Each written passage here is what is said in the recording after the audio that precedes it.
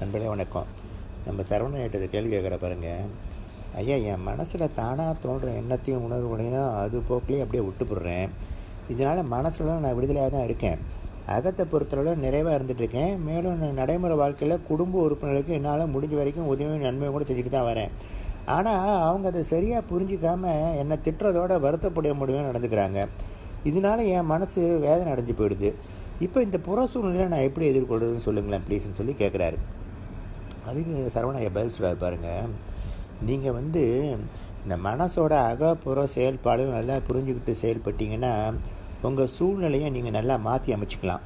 இப்போ உங்கள் மனசில் தோணி தானாக தோன்ற எண்ணம் உணர்வை வந்து அது போக்குலேயே போக விடுறது தான் இந்த அகப்புரிதல்னு நம்ம சொல்கிறோம் அதனால நீங்கள் மனசளவில் நிறைவாக இருக்கிறேன்னு கூட சொல்கிறீங்க ஆனால் இந்த நடைமுறை வாழ்வுங்கிறது எல்லாமே புற இயக்கமாக இருக்குது. அதை பற்றிய புரிதலும் கூட தேவைப்படுது நம்மளுக்கு. இப்போ மனசில் தானாக தோன்ற எண்ணம் உணர்வுகளை தவிர மற்றபடி நம்மளாக சிந்திக்கிறது பேசுறது செயல்படுறது இது எல்லாமே புற இயக்கம்தான். நடைமுறை வாழ்வுன்னு வர்றப்ப நம்ம வந்து பல பேர்த்தோடையும் சேர்ந்து இணைஞ்சு செயல்பட வேண்டியிருக்குது. நம்ம வந்து மற்ற எல்லாத்தோடையும் சேர்ந்து இணக்கமாகவும் உதவியாகவும் செயல்படுறப்ப தான் நம்ம நடைமுறை வாழ்வு கூட சிறப்பானதாக அமையுது. உதாரணமாக இப்போ நடைமுறை குடும்ப அமைப்பில் பார்த்தீங்கன்னா அப்பா அம்மா கணவன் மனைவி குழந்தை குட்டி உறவினர்கள்னு எல்லாத்தோடையும் தொடர்பு கொண்டு வாழ வேண்டியிருக்குது. இதில் நம்ம தொடர்பு கொள்கிற ஒவ்வொரு நபருக்கும் ஒவ்வொரு விதமான இயல்பும் மனப்பதிவும் அனுபவங்களும் இருக்குது. அவங்களோட இயல்புக்கும் மனப்பதிவுக்கும் அனுபவத்துக்கும் ஏற்றபடி தான் அவங்க நம்மக்கிட்ட நடந்துக்கிறாங்க. அப்படி அவங்க நடந்துக்கிறது எல்லாமே நம்மளுக்கு பிடித்தமாகவும் ஏற்புடையதாகவும் இருக்குன்னு சொல்லி சொல்லிட முடியாது. மனசோட ஏக்கத்தை புரிஞ்சுக்கிட்டால் நம்ம தான் அவங்களோட செயல்பாடுகளை அப்படியே ஏற்றுக்கிட்டு முடிஞ்ச வரைக்கும் அனுசரித்து அமைதியாகவும் நிறைவாகவும் வாழ்க்கையை ஓட்டிகிட்டு இருக்கணும். இப்போ உதாரணமாக பாருங்கள் ஒரு யங் லேடி ஒருத்தவங்க வந்து மனசை பற்றி நல்ல புரிதல் இருந்தும் தன்னோட மாமியாரை பற்றி பல குறைபாடுகள் வந்து என்கிட்ட சொன்னாங்க. அந்த பெண்மணிக்கு வந்து உடம்புல சரியில்லாதப்ப கூட மாமியார் வந்து அவங்களுக்கு பல்வேறு துன்பங்களை கொடுத்ததாகவும் பல சிக்கல்களை உருவாக்குனதாகவும் சொன்னாங்க. மேலும் வந்து நான் வந்து மாமியாருக்கு தேவையான உதவிகளை செஞ்சுக்கிட்டு தான் இருக்கேன். இருந்தாலும் மாமியார் தான் என்னை சரியாக புரிஞ்சுக்க மாட்டேங்கிறாங்கன்னு சொல்லி சொன்னாங்க. இதை பற்றி என் வீட்டுக்கார்ட்ட சொன்னால் கூட எங்கள் அம்மா அப்படி தான் இருப்பாங்க. அவங்க பழைய காலப்படி நடந்துக்கிற ஆள் அவங்க. அதனால் நீ தான் அவங்கள அட்ஜஸ்ட் பண்ணிட்டு போகணுன்னு சொல்லி சொல்கிறாங்க அதனால் வீட்டுக்கார்ட்ட சொ அவங்க அவளை பற்றி சொல்கிறத கூட விட்டுவிட்டேன் நான். இந்த மாதிரி சூழ்நிலையை நானே டோட்டலாக எதிர்கொள்ள வேண்டியிருக்கிறதுனால ரொம்பவும் மனக்கொதிப்பு ஏற்படுது. அதெல்லாம் தவிர்க்கவும் முடிய மாட்டேங்குது. இதுலேருந்து நான் எப்படி தான் மீண்டு வருது? எனக்கு சரியான ஆலோசனை சொல்லுங்கள் அப்படின்னு சொல்லிட்டு ஒரு தடவை என்கிட்ட கேட்டிருந்தாங்க. உடனே நான் அந்த அம்மாட்ட கேட்டேன் சரி உங்களை பற்றி உங்கள் மாமியார்கிட்ட விசாரித்து அவங்க என்ன சொல்லுவாங்கன்னு கேட்டேன். அவங்க உடனே நிச்சயமாக நான் சரியில்லைன்னு தான் என் மேலே பல குற்றச்சம் குறையெல்லாம் சொல்லுவாங்கன்னு சொல்லி அவங்க சொன்னாங்க. இந்த மாதிரி இப்போ நடைமுறை வாழ்க்கையில் பார்த்தோன்னா ஒவ்வொருத்தரும் அவங்கவுங்களோட இயல்புக்கும் மனப்பதிவுகளுக்கும் அனுபவங்களுக்கு ஏற்ற மாதிரி தான் நடந்துக்கிட்டு இருக்காங்க. இப்படி அவங்க நடந்துக்கிறது வந்து உங்கள் விருப்பத்துக்கு மாறாகவும் முரண்பாடும் தோன்ற பட்சத்தில் உங்களுக்கு மன பாதிப்பு வர்றது தான் நியாயம். அப்படி மன பாதிப்பு வராமல் இருந்தால் தான் தப்பு.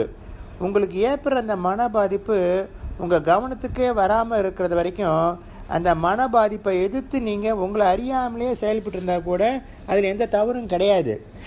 எந்த நிலைமையில உங்களோட மன கவனத்துக்கு அவங்க ஏற்படுத்த மன பாதிப்பை உணர முடியுதோ அதுக்கப்புறமா நீங்களாக அந்த மன பாதிப்பை எதிர்த்து எதுவும் செய்ய தேவையில்லை. நீங்களாக மன பாதிப்பை உணர்ந்த நிலைமையில் அது எந்த வகையிலையும் போய் சீரமைக்கிறதுக்கோ மாற்றத்துக்கோ முயற்சி செய்யாமல் இருக்கிற நிலைமையில் அந்த மன பாதிப்பு கூட தானாகவே மறைஞ்சு போயிடுது.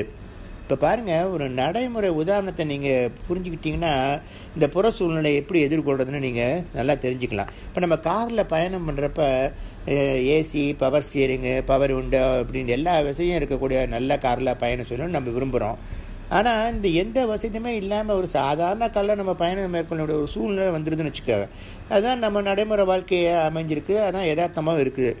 இப்படி எந்த வசதியும் இல்லை சாதாரண காரில் உட்காந்துக்கிட்டு ஏசி இல்லையே பவர் ஸ்டீரிங் இல்லையே பவர் விண்டோ இல்லையேன்னு சதா புலம்பிட்டு இருக்கிறதுனால எந்த முன்னேற்றம் இதில் ஏற்பட போகிறதில்ல இந்த காரில் இருக்கிற அடிப்படை வசதியை தவிர வேறு எந்த விதமான வசதியும் கிடைக்காது அப்படிங்கிறத நல்லா புரிஞ்சுக்கிட்டு நம்ம தான் அமைதி அடையணும்.